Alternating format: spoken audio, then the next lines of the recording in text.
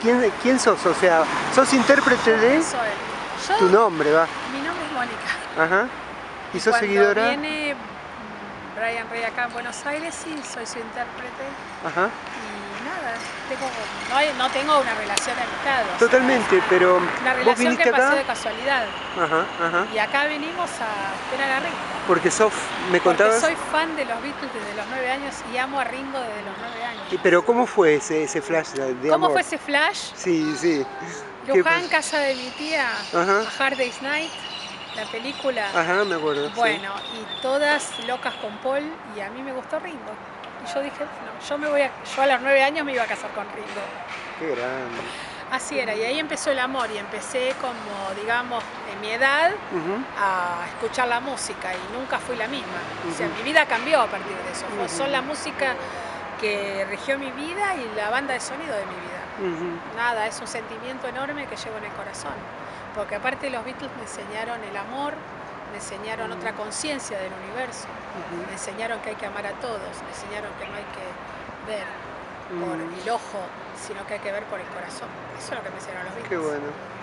Un refugio en mi adolescencia, mis millones de cosas, mi vida entera, mi matrimonio, mis hijos, Mm. mi alianza de matrimonio dice Beatles, no tiene el nombre de mi marido, ni el de mi marido tiene mi nombre, dice Beatles. Mira, mira. Y todas nuestras fechas y toda nuestra vida está regida por eso, porque a mí me dieron mucho, como músico, como artista, me dieron mucho, me enseñaron muchas cosas.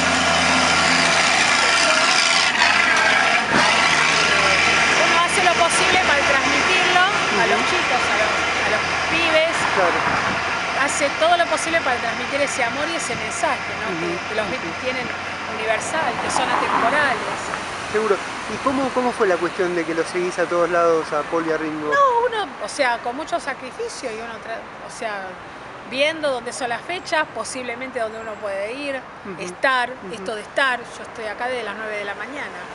Hoy llegaste a las 9. Sí, sí. ¿Y cómo planificaste este, este viaje de Ringo? ¿Leíste antes? ¿Cómo Eh, fuiste me sabiendo? lo dijeron hace mucho tiempo que venía Ringo a tocar acá en Ajá. Argentina gra- en forma gratuita. Perfecto. Bueno, todo fue esperar que se pusieran las entradas, todo fue esperar sacarlas, Fuiste- estar en la computadora F5 todo el Mm, tiempo, mm, mm. a ver cómo se renovaba la página de Movistar y se ponían a- en venta las entradas y, y sacarlas, ir a buscarlas, ya tenerlas, estar con felicidad de tenerlas Ajá. y ahora esperar. Y mañana, bueno, nada. Ahora esperar, pero por ejemplo, ayer a la noche, ¿cómo fue la historia? ¿Que ya planificaste? Ayer fue un tema de terminar el pantalón, No, Ah, terminar el pantalón, que a todos lados me llevo mi el pantalón. Ajá. terminar el car- los carteles para demostrarle mi amor, ¿Hiciste los carteles? Qué grande. Después... terminarlo el cartel, eh, no dormir, planificar cómo íbamos a hacer este, y saber a qué hora íbamos a estar y para mañana lo mismo, estar a qué hora, no sé si a las 4 de la mañana o si me voy a dormir al planetario, no sé todavía, estoy planeando qué hago, Perfecto, este, y ver, quedarse ahí con amor, siempre igual. seguro. ¿Tuviste una experiencia, tuviste la experiencia de estar con Ringo? De... Eh, la, primer- la experiencia que tuve fue que en el año 2011, Ajá. el primer- su primer visita, Sí, me habían pasado el dato de cómo llegaba esa ajá. Entonces, este, cuando llegó por número vuelo de línea normal, eh, sí, lo vimos muy cerquita, tan cerquita como estoy yo de, de ti. Esto, estuve, le filmé, saqué fotos, nos saludó a todos. No. Muy, muy, la verdad que estuvo muy simpático, muy sorprendido también del amor que le estábamos dando Claro, en ese claro, momento. claro. Y eso fue, esa la primera experiencia. La otra, 30 años tiene esta remera. Sí, La sí. otra, este, cada vez que, o sea, cada vez que ha venido sí lo, tuve la suerte de verlo. Ajá, Tanto ajá. en los shows muy cerquita como acá en el hotel, sí. ¿Y con Paul qué pasó? Con Paul tuve la suerte de verlo dos veces. La primera vez en Londres, en la puerta de su casa, Ajá. Y la segunda vez en San Pablo, en que, bueno, ahí sí fuimos bendecidos porque nos hizo, nos firmó autógrafo, este, pudimos saludarlo, pudimos hablar con él, 10, 15 personas también que estábamos ahí en un hotel esperándolo. Eh, eso fue lo último y más cercano que, que puedo contar de tener en mi casa un cuadro con Seguro. autógrafo de él. ¿Y con tus amigas cómo fue la historia con, con Harrison? Con mis amigas con Harrison fue que, bueno, ellas toda su vida se dedicaron a George, toda su vida un amor enorme por George. Sí. Y pudieron, este, se acercaron hasta su casa en el castillo de Ajá. Helion Thames, hablaron con su esposa y la esposa le aseguró que George seguramente las iba, ¿en qué? Le preguntó en qué hotel estaban, que seguramente George las iba a llamar.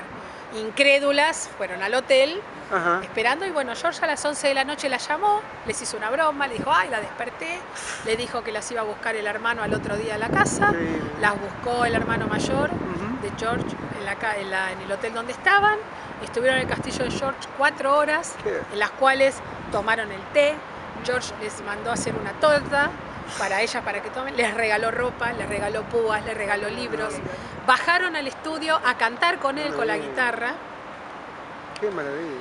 cuatro horas y en las cuales ninguna se había dado cuenta que no habían sacado ninguna foto. No, es- Entonces la esposa de George le dice, pero escúchame una cosa, no se van a sacar ninguna foto y se dieron cuenta que la porque antes era, no había cámara digital, claro.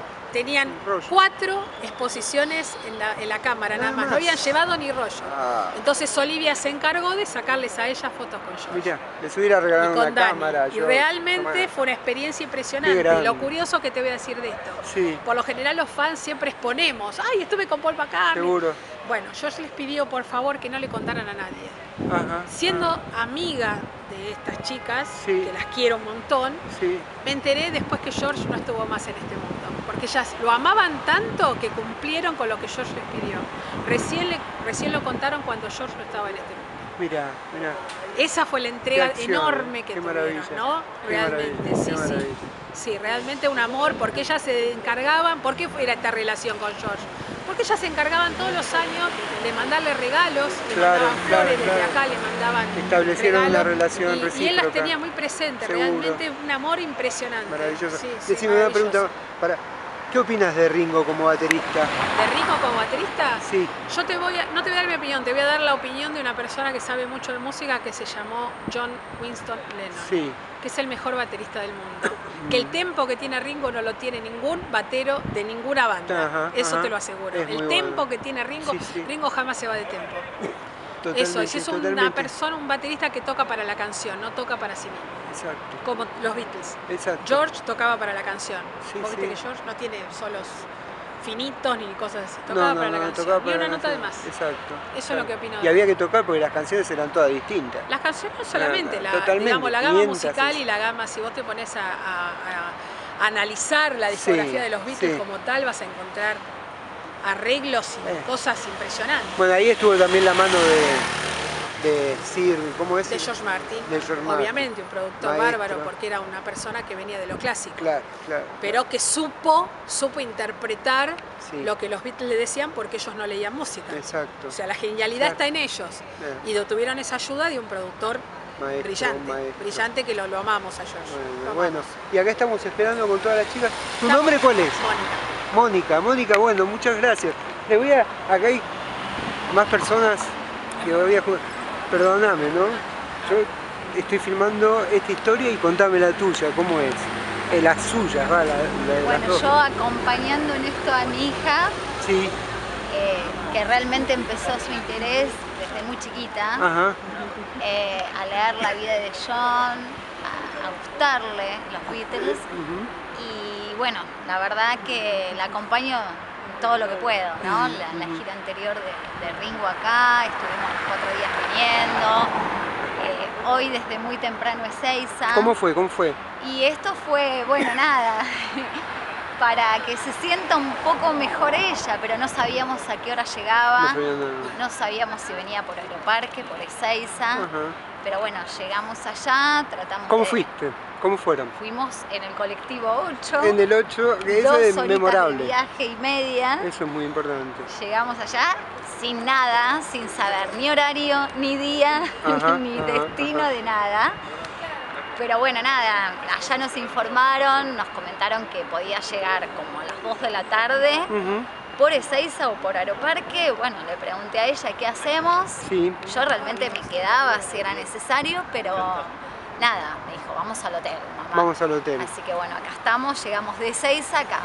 Pero supieron que llegaba a qué hora ustedes allá en ese. ¿Supieron Nada. algo? Nada, nada, Nunca nada. supimos nada. Íbamos a arriesgar. Mm, mm. Pero bueno, nada, eh, realmente si no íbamos, yo me iba a sentir mal de verla a ella, que nada, que después se enterara cuando suban las cosas por Twitter o demás.